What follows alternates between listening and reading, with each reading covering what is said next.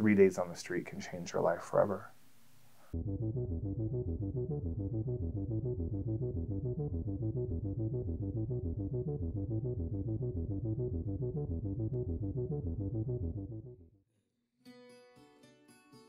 We are currently the only LGBTQ youth shelter in the state of New Mexico. What's unique about Casa Q is that there's no there's no clock above your head when you come into the program. A young person come into care for two months or two years. Shelter is a very unique program when we created it because it's a home setting, it's not an institutional setting. We function as a home, we function almost like a large family. It could be life or death coming out here. A lot of youth have had to make the decision to leave because like they came out and instead of being encircled with love like we all hope, they're encircled with hate and harm and really dangerous words and for their life to continue on and be safe, they left. New Mexico is a very unique place to be queer and homeless and, and underage. The exploitation uh, of a young person on the street within 48 hours, uh, something that's going to happen. So you have a very small window of opportunity, right, to to do an intervention. We're a desert. We have desert resources. We just sort of lack. It's hard enough to get youth into housing if they are and straight. When you need somebody to pay attention and understand that like going to the restroom can be scary, it's going to be even harder to find a housing space for you.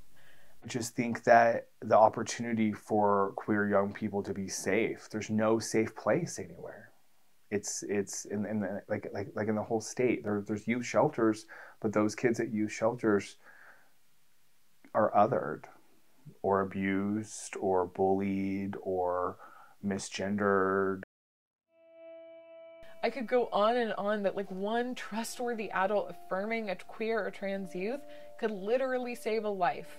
Every young person at shelter has 6 to 12 people attached to them that we create. They might come in with zero, like and I might be the only first person, but we slowly start building, building, building, building, building their team. So if they blow out of Casa Q, want to leave Casa Q, graduate Casa Q, it follows them everywhere. I was housed, I was fed, and I was coming out, and I was still like crying and having like a like like trying to find words and figure out myself and my brain and like it was challenging and trying to do that when you couldn't like take care of other things like sleeping and food and medical care i just i it would be so hard. So many kids that come to us that are like if i can't change who i am i don't want to be here anymore. Any youth that i see go from crisis to like an affirming space usually are able to make like more informed educated decisions about their life and what they want. Everything that they had shame about that they were embarrassed about that they got abused about they got bullied about everything we turn that around at Q and we celebrate that. We flip that script and give that power back to them. And sometimes it takes them a minute to, to celebrate with us you know but uh, over time they really um, get to feel whole and and and loved and accepted and um, and that's when everything else can move forward.